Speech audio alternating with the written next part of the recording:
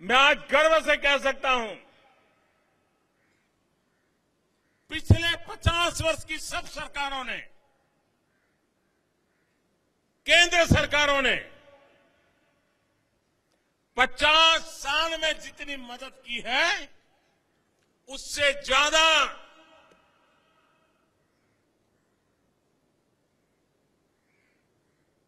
पच्चीस महीने में हमारी सरकार ने गोवा को मदद की है।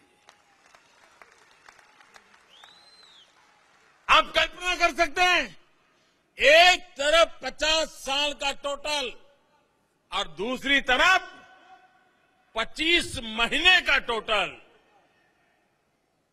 ये गति है हमारी, ये हमारी दिशा है।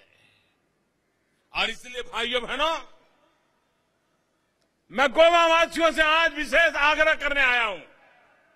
चार तारीख को हम मतदान करेंगे। और गोवा को एक दुर्भाग्य है,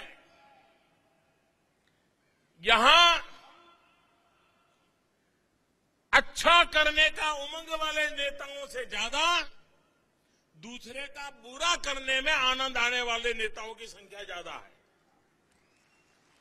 उनको इस बात में आनंद नहीं आता कि भाई चलो गोवा का भला हो।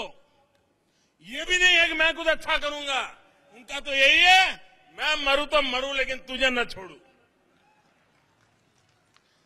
मेरे गोवावासी, ये जो वोट कटाऊ लोग है ना, वोट काटने वाले लोग, ये लोकतंत्र का जेब काट लेते हैं। ये लोकतंत्र के जेब कतरे हैं।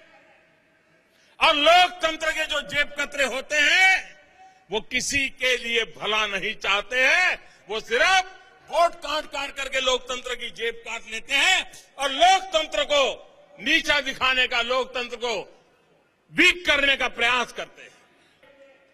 देश को भ्रष्टाचार से मुक्त कराने के एक ईमानदार प्रयास का हिस्सा होंगे।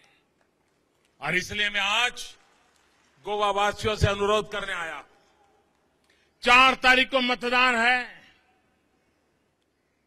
सर्वाधिक मतदान हो।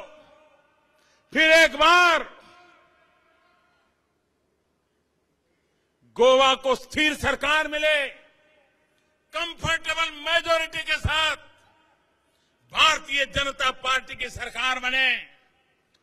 फिर एक बार कमल पूरी ताकत से खिले। और जैसे कमल खिले वैसे मेरा गोवा भी खिले।